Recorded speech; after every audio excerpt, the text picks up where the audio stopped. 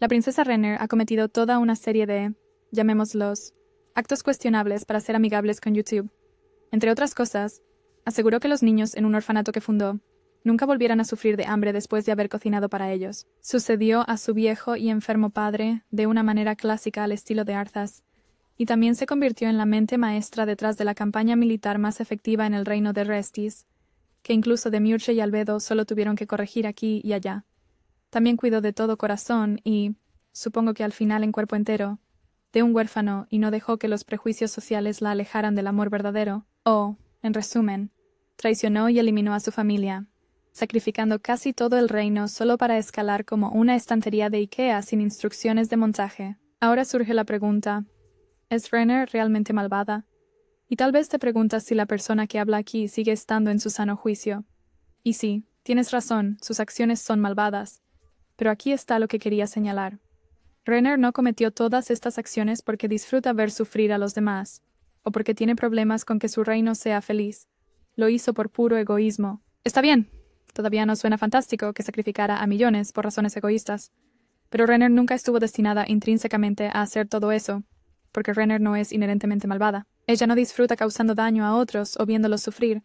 En cambio, encarna lo que las personas cultas llamarían una yandere.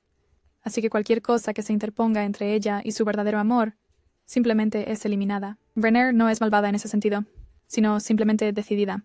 En esencia, no solo habla y canta como una princesa de Disney, sino que también lucha por el amor verdadero, solo que sus medios son mucho más duros.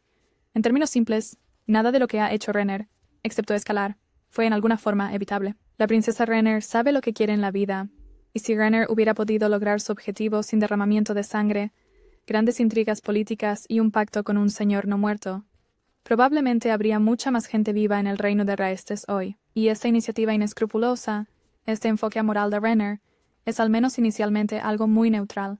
Y si Renner se hubiera casado con Klimp, por ejemplo, para fortalecer el vínculo entre la Casa Real y el pueblo después de, digamos, una hipotética guerra civil entre el príncipe Sanak y el príncipe heredero bárbaro hubiera terminado. Entonces, probablemente la gran guerra contra Raestes nunca habría ocurrido.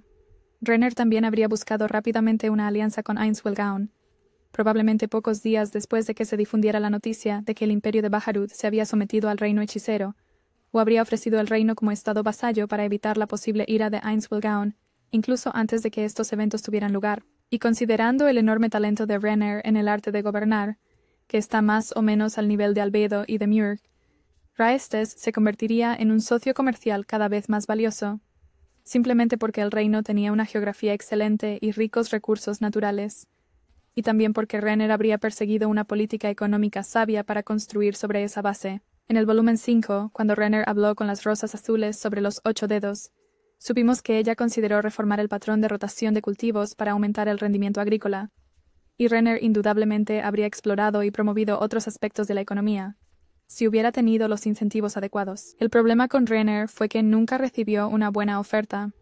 Como se mencionó en otro video, no le interesaba el dinero, el estatus social o el poder político, sino más bien Climb y esta incapacidad para utilizar este incentivo llevó a reastirse a su caída evitable. Renner es simplemente inescrupulosa. Siempre habría tomado el camino de menor resistencia para obtener lo que quería. Desafortunadamente, incluso en este camino, un reino todavía se interponía en su camino. Así que, en conclusión, tenía Renner la obligación moral de no traicionar a toda su familia y patria por algo más que un simple paseo con Climb.